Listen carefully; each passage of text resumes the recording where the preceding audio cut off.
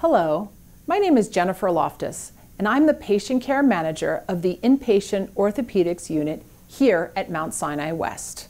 On behalf of the entire treatment team, I would like to welcome you to Mount Sinai West, as well as thank you for choosing our esteemed providers for your joint replacement surgery.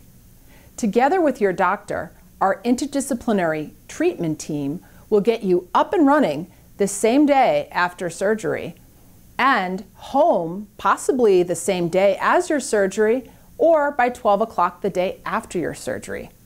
We're dedicated to providing you with exceptional service and a great patient experience. So if you need anything during your hospital stay, please feel free to reach out to myself, Jennifer, or a member of our treatment team. Thank you very much, and we look forward to seeing you soon. Hi, I'm Alana. And I'm Lindsay, and we're physician assistants with the orthopedic team at Mount Sinai West Hospital. And we're going to walk you through on how to prepare and what to expect for your upcoming surgery here at Mount Sinai West Hospital.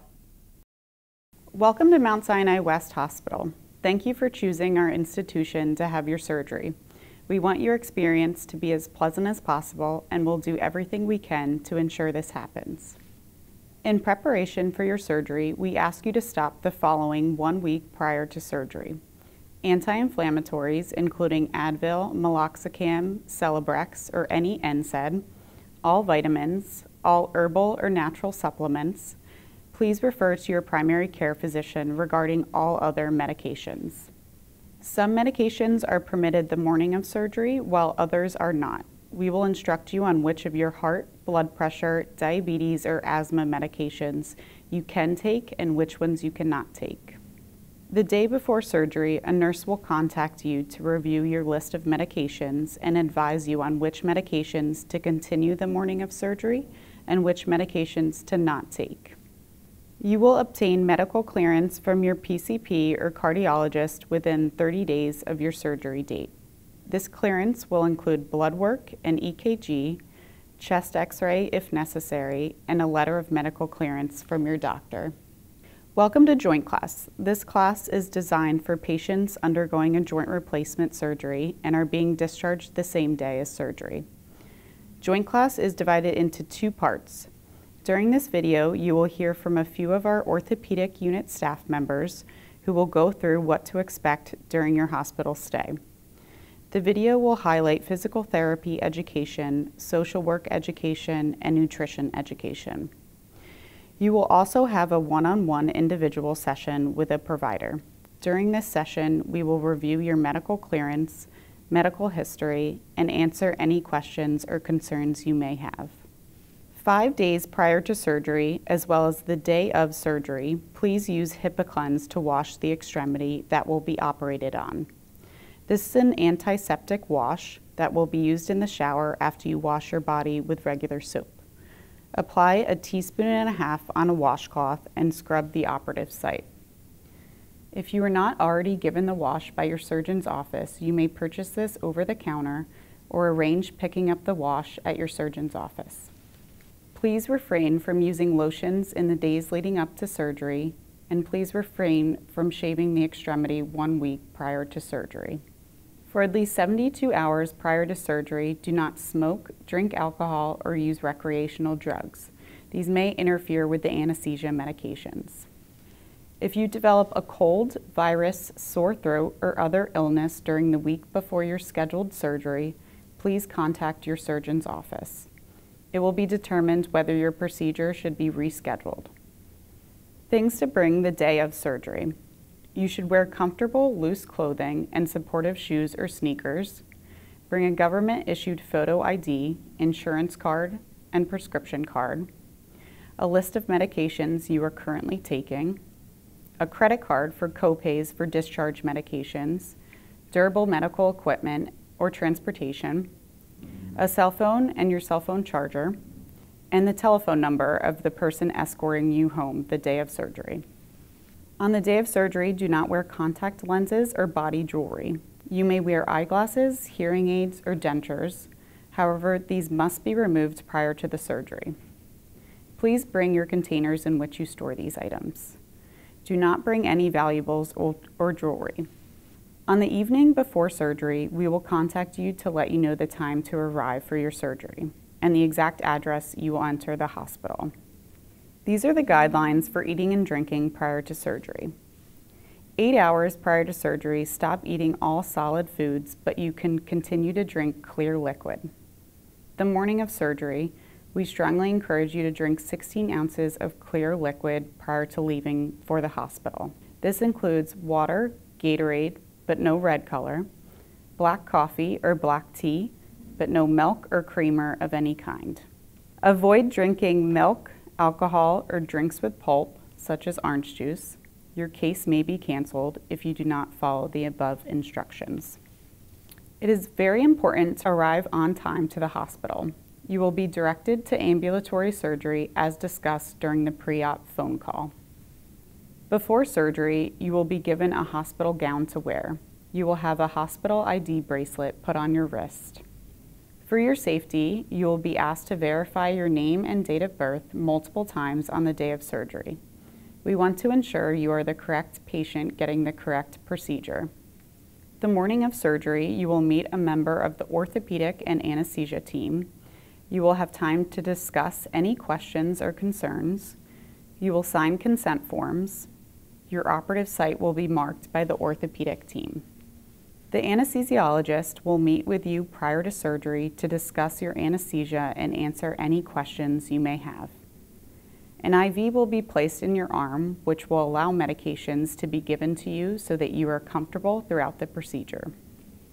If you have had any experiences in the past with anesthesia, please inform the anesthesiologist.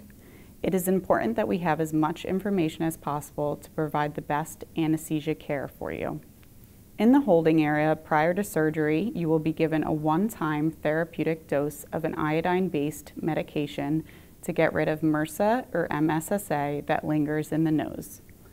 If you have an allergy to iodine, you would have been prescribed Bactroban preoperatively to apply in your nostrils twice a day for five days before surgery.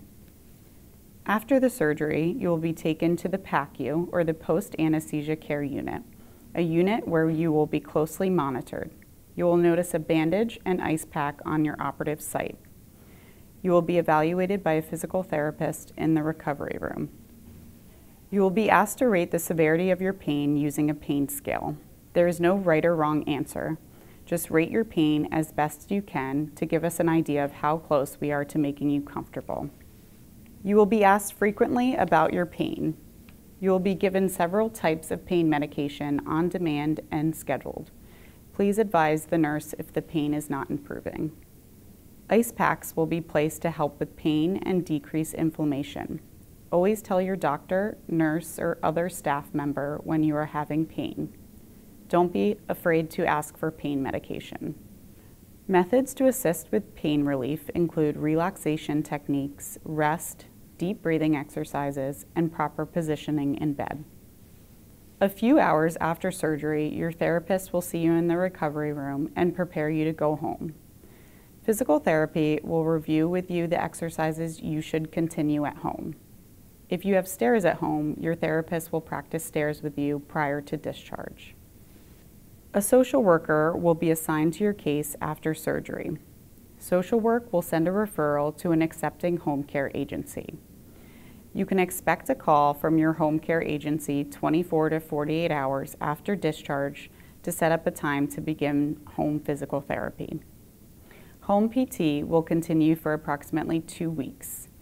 Some patients may be suited for outpatient therapy immediately following discharge if cleared by your surgeon's team. So how do we prevent blood clots after surgery? The most important way to prevent blood clots is to walk every day. You will be discharged on an oral anticoagulant to keep your blood thin. Most commonly, you will be given aspirin. Other examples include Xarelto or Eliquis. Antibiotics will be given to you throughout your procedure through an IV as a preventative measure to prevent infection. If you have diabetes, it is important to keep your blood sugar under control. It is important to prevent joint stiffness. We have a few weeks to get this joint moving. If you are undergoing a knee replacement, it is important to begin bending and straightening your knee immediately after surgery. This will be done initially under the guidance of the physical therapist. You will need to do this upon discharge multiple times a day on your own. What to expect upon discharge. It is necessary to have someone accompany you home day of surgery. Your medications will be sent to your pharmacy prior to surgery. These will include pain medication, blood thinner such as aspirin, stool softener, and any other medications determined by your surgeon. You may receive durable medical equipment or prescriptions for them. This will be discussed prior to discharge if you need any additional equipment to aid in your recovery at home. You will receive from the nursing staff and orthopedic team detailed instructions for continuation of your medications, wound care, exercises, and follow-up care. We also offer flu and pneumococcal vaccinations. Special equipment after surgery. You will be discharged home with a walker. We recommend patients getting a hip kit prior to surgery to aid in recovery at home. This kit includes a sock aid, dressing stick, reacher, shoehorn, and elastic shoelaces. Please check with your insurance regarding coverage. After you are discharged home from the hospital, you will receive a follow-up call from the orthopedic team the next day checking in on your home recovery. Make sure to call your orthopedic surgeon to make a follow-up appointment a few weeks after your surgery. Continue taking the oral anticoagulant prescribed. Continue doing your home exercises advised by your therapist. If you have any concerns while at home, please call your doctor's office or home care agency. For an emergency, please call 911. Our hope is for you to continue living a healthy lifestyle, continue to exercise and walk daily, maintain a healthy weight, be mindful of your daily nutrition. If you haven't done so already, we strongly encourage smoking cessation. Our goal is for you to have a safe and positive experience while at Mount Sinai West Hospital. We encourage you to push yourself as much as you can. We'll give you all the tools and assistance while you are with us to make your orthopedic surgery a huge success. Please remember to walk every day.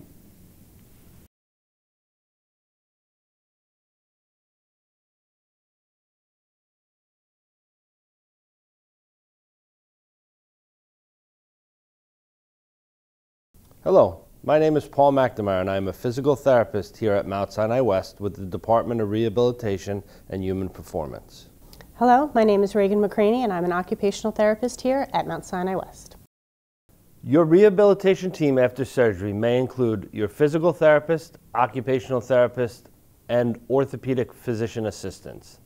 The team will see you in the recovery room within one to three hours after you arrive and as needed throughout your stay until discharge.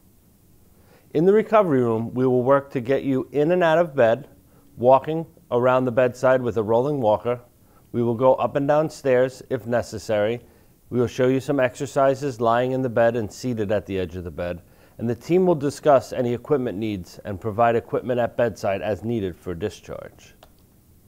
Our rehabilitation goals as a team for you in the recovery room are that you can get yourself in and out of bed, you can walk safely with a rolling walker or another assistive device. We will make sure that you can go up and down stairs if necessary. We'll make sure you have an understanding of your basic home exercises and any movements that we encourage or that should be avoided. There's exercises found in the binder, and we want you to perform them three times a day while in the hospital and continue with them upon discharge. After your surgery, you may require some equipment, such as a walker, cane, commode, transfer tub bench, and or tools for dressing. A PT or OT can give you a call prior to your surgery to discuss possible DME needs. Some equipment can be covered by your insurance while others is not. We have house vendors for some of the equipment. Other equipment may be purchased from your local surgical supply store or online vendors like Amazon. Seen here are some of the adaptive equipments used for dressing, particularly if you have a posterior hip surgery. Bathroom equipment can include a commode, transfer tub bench, shower chair, raised toilet seat, a PT or OT will contact you ahead of time to discuss what your possible bathroom needs are. Please be advised that if any equipment was ordered to be delivered home, either pre or post operatively, it is your responsibility to follow up with the vendor to provide any payment and or delivery information. Failure to do so may result in delay or cancellation of your order. Your PT-OT team will provide you with the vendor information. At your time of discharge, please plan on having someone to accompany you home. Having a pair of loose rubber soled shoes to wear at home will be good. Firm chairs with armrests are easier to get up from. If you are going to sit on a lower couch or chair, you may need to add pillows to elevate it. You want to make sure to clear clutter and throw rugs from your main paths in the house. Be careful with pets and be careful when walking on different surfaces. It can be helpful to prepare meals ahead of time, prepare for having groceries delivered, organize your kitchen so that items can be easily reached, in your bedroom, you want to make sure to tape down or remove cords from your walkways, ensuring you have a clear pathway into and out of the bedroom. Organize your clothes to make them easier to reach. In the bathroom, make sure that your shelves are organized as well, making all your frequently used items easily accessible. Make sure your bathroom doorway has clear access. Safety with lower body dressing. Please take caution when placing feet into or out of pants and undergarments. All lower body dressing should be performed from a seated position as you heal from surgery. Only stand to pull up or down garments between knee and waist level. It is your responsibility to do your best when the PT and OT comes to work with you. Remember to try and perform your exercises at least three times a day once you get home. We want your surgery to be a success and your recovery to go as smoothly as possible. Thank you for choosing Mount Sinai West for your joint replacement. Hi there, my name is Michał Sokolowski. I'm a senior physical therapist here at Mount Sinai West. So after your total joint replacement surgery, um, the best thing you can do is to ambulate, change positions throughout the day as much as possible. Um, the worst thing you can do is stay in one position in bed all day. Uh, it puts you at risk of a lot of complications. So taking little walks to the kitchen, to the bathroom, uh, doing as much on your own as possible um, is the most important. In your discharge paperwork, you will get a set of basic exercises um, to do at home. Uh, you will also go over them in your joint class. I suggest that you go through them already so you're comfortable doing them at home before you even have the surgery. It's a lot easier to tap into that muscle memory to do the exercises uh, than to learn a new exercise when you arrive in the hospital. So the first exercise is very simple. Uh, it's called a quad set. Uh, for all these exercises, um, the uh, frequency is uh, listed on the handout. It's three sets of 10, three times a day. So we're shooting for about 90 repetitions per day. Um, especially after a knee replacement, you might want to space those exercises more frequently. So maybe a set of 10 every hour just to keep that knee nice and loose. So the first one you're going to work on knee extension in bed, uh, laying flat. So you're going to press straight down into the bed, contract the quadriceps muscle, maintain that contraction for five seconds, and then just relax it. And that counts as one repetition. So we're shooting for 10 of those. Very simple exercise, um, just gets that knee into full extension in supine. The second exercise now we're focusing on knee flexion. So you're going to slide your heel towards you as far as you can. There you go. Cat has beautiful range of motion. You will not have that range of motion after surgery, but we are um, aiming to stretch that knee. So you can extend it back down, slide it back. Uh, this might be difficult after surgery just because of pain and swelling. Um, still very important to push through that pain and swelling to get that new range of motion. So what you can do is you can use your hands on your thigh to help pull that leg towards you to get more of that stretch. Or an alternate method is you can, if you have a strap at home, you can use a strap. If you don't, a rolled up sheet works just fine. You can hook that sheet under your foot and just use your hands to pull that leg towards you. Perfect. All right. Perfect. The next exercise is called a straight leg raise, SLR for short. So you can bend the opposite leg just to uh, relieve some pressure on your back. And then you want to raise your leg straight up. And again, cat has great flexibility. You can go to about the height of the knee on the other hand. And that will be great. That's a very difficult exercise to do after a knee replacement. Should be a little bit easier after a hip replacement, but still a challenge. Again, you can use that rolled up sheet to help pull it up. Perfect. The next one is a terminal knee extension. So you can have a rolled up sheet or rolled up pillow underneath that knee. Right? So you see how that knee now is in a little bit of flexion. Uh, here, a note of caution. This position does feel great after a knee replacement do not leave that pillow under the knee. You want that knee nice and straight when it's in bed, and the physical therapist here will definitely stress that when they see you. Um, but for the exercise, you're just straightening the knee. There you go. Nice and slow, and then back down. Perfect.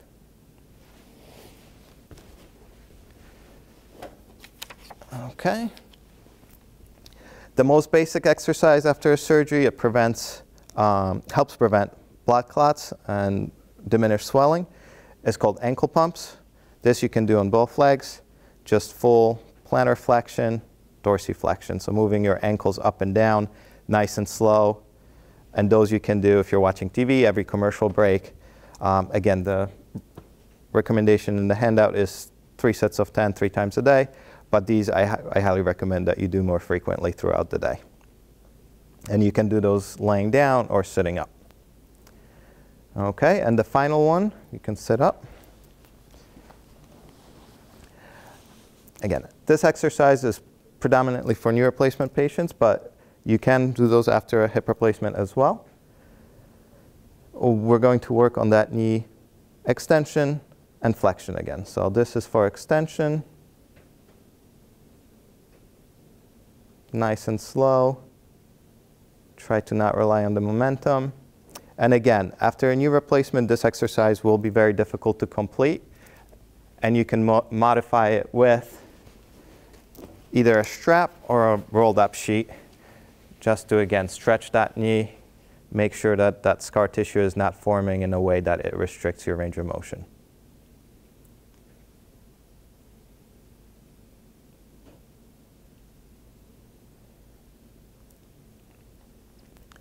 Very nice. So that's for extension. If you scoot forward,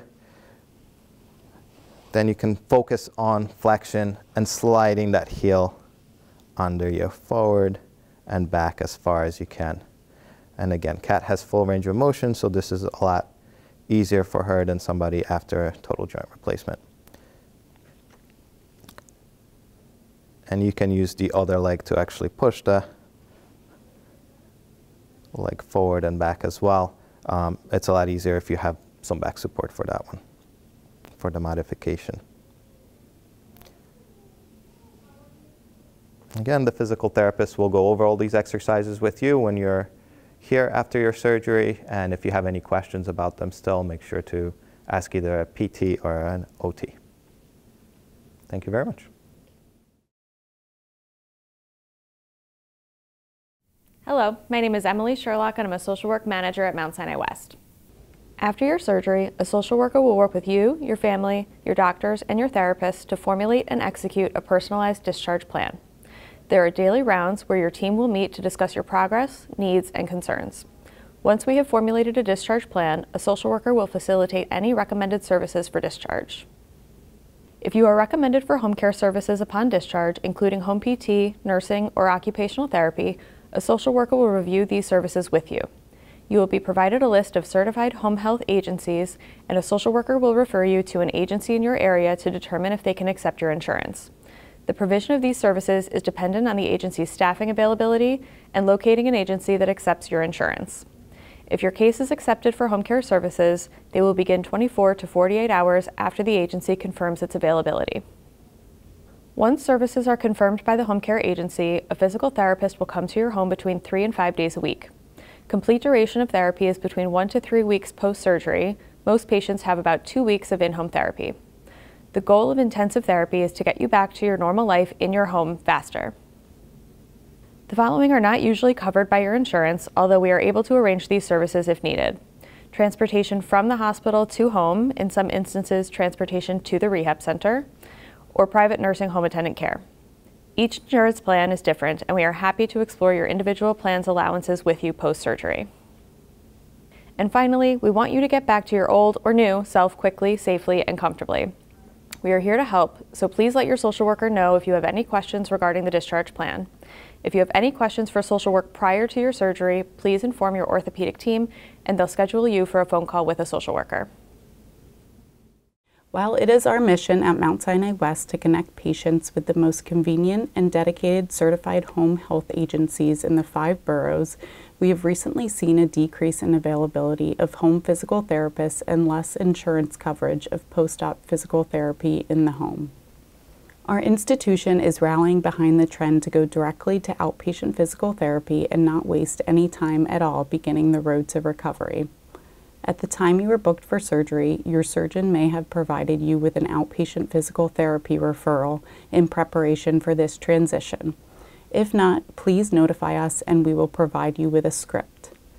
We encourage you to take time prior to surgery to look for an outpatient physical therapy facility in your local community please reach out to the facility regarding insurance coverage. Thank you so much for your understanding.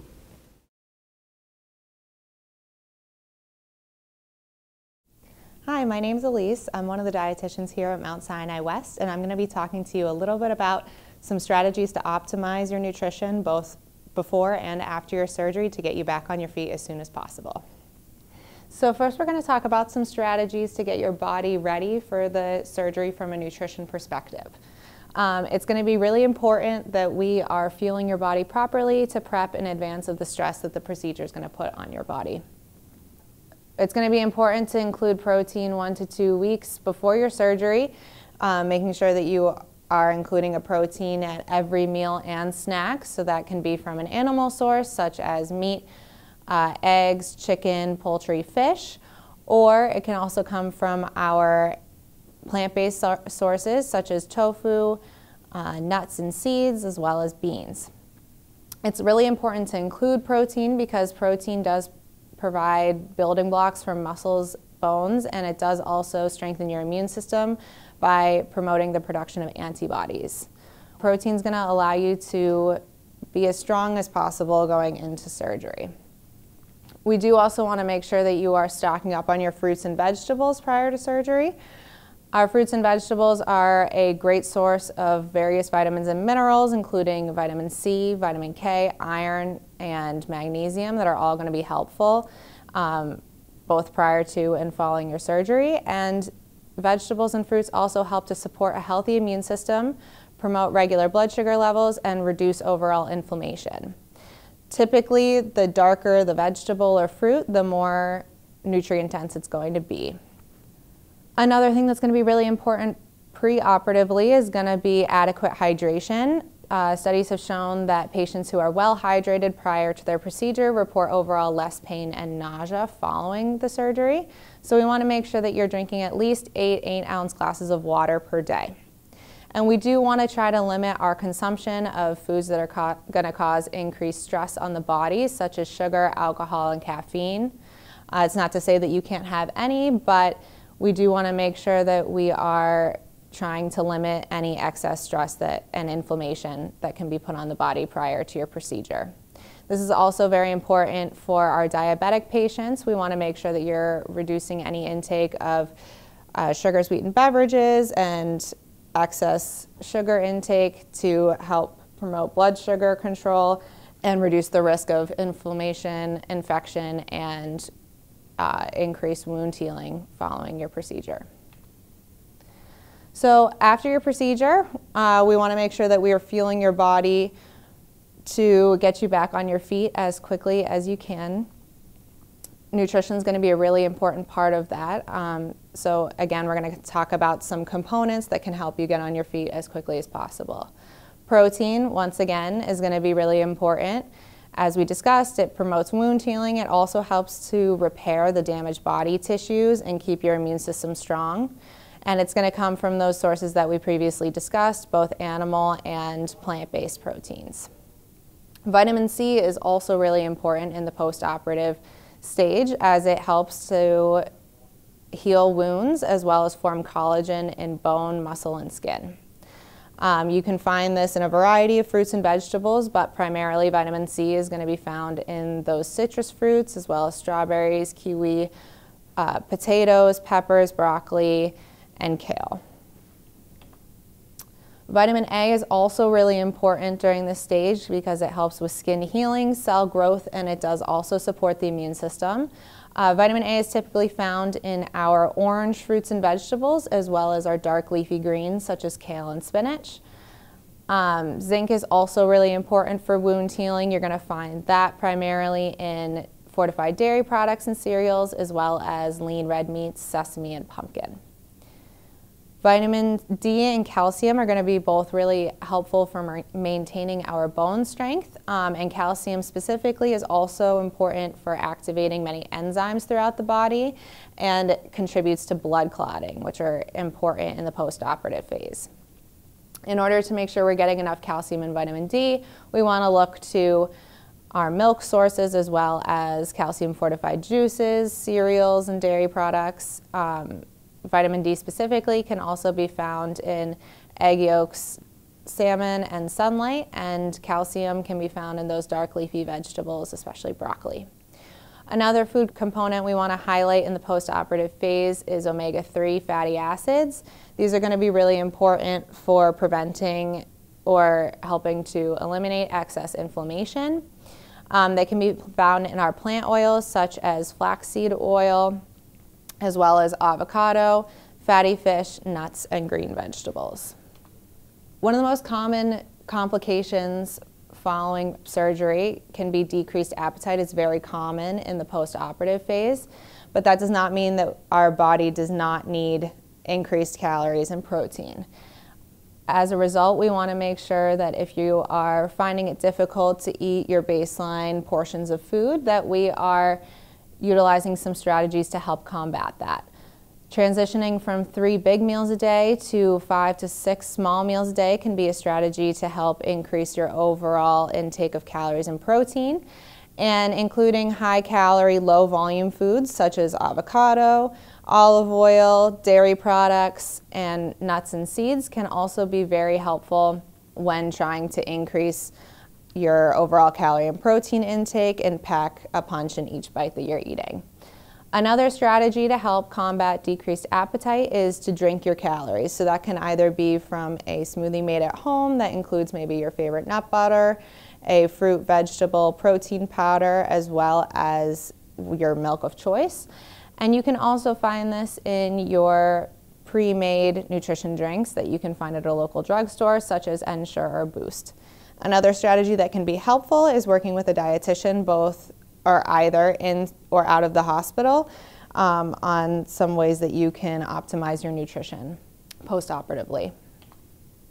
Constipation is another concern that comes up in the post-operative phase as a result of decreased movement and some of the pain medications which are known to be constipating. Uh, in order to combat that, we want to make sure that you continue to stay adequately hydrated, um, drinking at least two liters of fluid a day, and we also want to make sure that you're including those high fiber foods at each meal. So that would come from your fruits, your vegetables, and your whole grains, which will also help to get you your vitamin and mineral requirements. Fiber, um, especially our insoluble fiber found in our in our nuts and seeds as well as fruits with the skin on and our leafy greens are going to be really helpful for uh, maintaining normal bowel function. So those are some of the things we're going to want to include on a daily basis. And this is just highlighting a lot of the topics that we had discussed. We want to make sure that, again, you are staying adequately hydrated prior to your procedure and that you're making sure that you're including a lot of fruits and vegetables that have both that fiber, vitamin, and mineral component to them. We want to make sure that you are eating enough in the postoperative phase and meeting those increased calorie and protein needs through smaller, more frequent meals as well as protein packed snacks. We do also want to make sure you're avoiding any excess stress on the body by continuing to limit our consumption of excess sugar, processed foods, and alcohol. And if you do find that you have any questions or you're concerned that your appetite has remained low in the postoperative phase, feel free to reach out to a dietitian to help. Thank you.